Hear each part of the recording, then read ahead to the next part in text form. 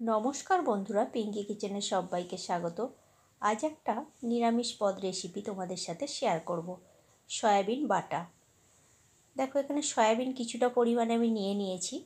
সয়াবিনটাকে প্রথমে গরম জলের মধ্যে সিদ্ধ করতে দিয়ে দিলাম। আর একদিকে একটু কালো সর্ষে, একটু সাদা সর্ষে, একটু পোস্ত আর তিনটে কাঁচা লঙ্কা, একটু নারকেল, এটাকে আমি মিক্সিতে পেস্ট করে নেব। সয়াবিনটা দেখো সিদ্ধ হয়ে গেছে। গ্যাসের ফ্লেমটা অফ করে সয়াবিনটা আমি ছেঁকে নিচ্ছি, দিয়ে সয়াবিনটা ঠান্ডা হতে দেব। এবারে ওই কড়াইটা ধুয়ে তাতে একটু সামান্য পরিমাণে সরিষের তেল দিয়ে দিলাম। তেলটা গরম হয়ে গেছে। এবারে সয়াবিনটাকে একটু ভেজে নেব। সয়াবিনের জলটা কিন্তু একদম চেপে আমি বের করে নিয়েছি। খুব বেশি ভাজবো না, হালকা করে নাড়াচাড়া করে দু থেকে তিন মিনিটের জন্য ভেজে নেব। দিয়ে দিলাম সামান্য পরিমাণ একটু নুন। দু থেকে তিন মিনিট নাড়াচাড়া করে আমার ভাজা হয়ে গেছে। এবার এটাকে একটা পাত্রে ঢেলে ঠান্ডা হতে দেব। ঠান্ডা হয়ে যাওয়ার পরে এটাকে আমি মিক্সিতে পেস্ট করে নেব। আগে আমি সর্ষে, পোস্ত, কাঁচা লঙ্কার নারকেল বাটাটা পেস্ট করে রেখে দিয়েছিলাম। সেই বাটিটার মধ্যেই সয়াবিনটা পেস্ট করে নিলাম। এবারে দুটো পেস্টকে আমি একই সাথে হাত দিয়ে খুব ভালো করে মাখিয়ে নিচ্ছি। স্বাদ মতো নুন দিয়ে দিলাম। আর দিয়ে দিলাম সামান্য পরিমাণ একটু চিনি।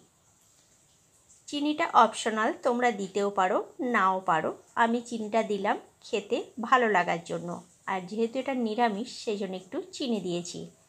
খুব ভালো করে দেখো হাত দিয়ে এটাকে আমি মাখিয়ে নিলাম। এবারে ওই কড়াইটাতেই আরও একটু সরিষার তেল দিয়ে দিলাম।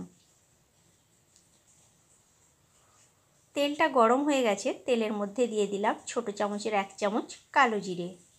আর দিয়ে দিলাম হাফ চামচ মতো হলুদের গুঁড়ো। হলুদের গুঁড়োটা আমি তেলের মধ্যেই দিয়ে দিলাম।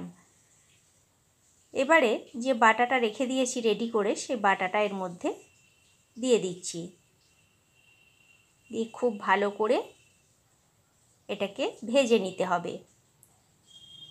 যারা নিরামিষ খেতে পছন্দ করেন, তারা এইভাবে একবার সয়াবিন বাটাটা করে দেখতে পারেন।